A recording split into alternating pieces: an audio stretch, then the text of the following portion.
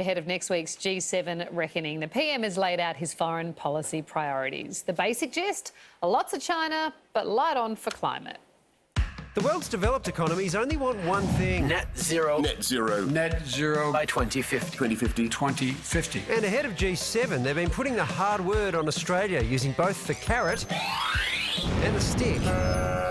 But rather than meet and beat the rest of the world's expectations, Morrison seems determined to tap dance around them. It's not about if or when, it's about protecting and advancing Australia's interests. In that context, it's about the how. And he's not so keen on carbon tariffs. Which is simply trade protectionism by another name.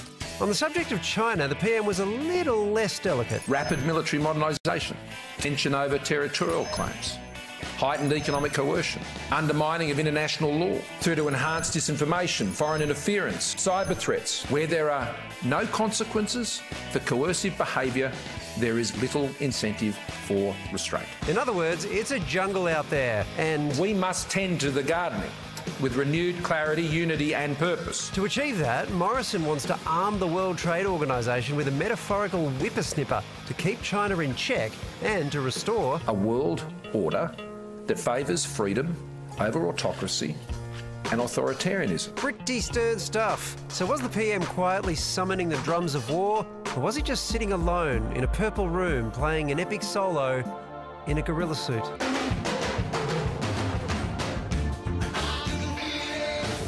Greatest of all time. Former PM, the song, I realised that, yeah, you were good too, Ruddy, I'm sure. good intro. Former PM Kevin Rudds uh, heard the song before and he joins us now. Kevin, it was probably the strongest that Scott Morrison has been on China. What do you think his goal is here? Uh, to respond to the latest round of Liberal Party um, market research, which says be hairy chested and improve your domestic polling. Look, the proposal that he's put forward, which is some new power for the WTO, how long is it going to take to implement that? Probably forever. Uh, will it actually improve the current level of trade bans by China against us? Probably not. And so I don't think it actually is materially relevant. Last point is he talks about the need for greater manufacturing resilience in Australia. Well, uh, that starts with, for example, having a viable motor vehicle manufacturing capacity in this country, which his government has already killed. So I think it's big on rhetoric, but frankly, short on delivery. Kevin, do you think this Prime Minister gets China at all? Oh, look, I think um, the Liberal Party governments have gone up and down on China. First three or four years after we lost office in 2013, the whole mantra was uh, the previous Labor government under myself and Julia Gillard that we'd got China all wrong uh, because we were so hard line on them. Then we get to around about 2017 and they go in exactly the reverse direction, that we're all too soft on China.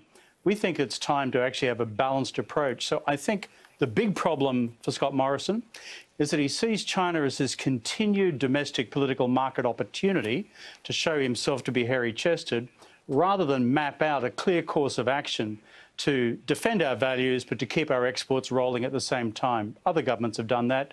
His government can do it too.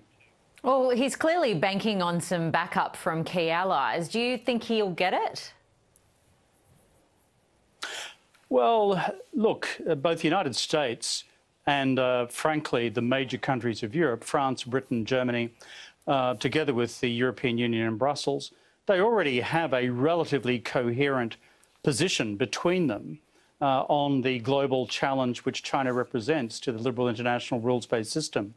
So I think Mr Morrison's message is primarily aimed at the domestic Australian political audience rather than the international audience. But if you're going to go to, for example, President Biden and the Europeans with an ask on China, then why the hell aren't you also delivering what they need, which is a robust Australian uh, commitment on climate, rather than simply being the odd man out in the room which is not in Australia's interests at all, particularly if we're looking after the barrier reef, jobs and long-term tourism in this country. Thank you for delivering me to climate change, which is the other topic that we wanted to discuss. Um, because the EU, in its trade negotiations with Australia, is threatening to impose carbon tariffs, which effectively would be like a carbon tax on Australian industry from without, um, rather than us passing one ourselves. Um, Australia is really trying very hard to resist that. Who do you think is going to win on that? Look, I think to be fair to the Europeans, they've been signalling this for probably the last three to four years. And in fact, you know, people like myself and others in the international community have been saying this is where Europe is headed, and it's also what Biden has begun to embrace as well. So, what's the logic here? It's saying we're not going to have a system in the global economy where a bunch of us put effectively prices on carbon um, and thereby affect to some extent our global competitiveness as a result of doing that and let other economies like Australia off the hook entirely. That's the logic which underpins this so called carbon border tax. The best thing for Scott Morrison to do to avoid it is just get with the program, increase your commitment on greenhouse gas reductions by 2030. Every other country in the room, bar India, will be doing that at the G7 meeting. Why not Australia, particularly when we're already the driest continent on Earth and we've got the most to lose through out of control climate change? Mm. All right, Kevin, we'll have to leave it there, but thanks for your time tonight. Good to be with you.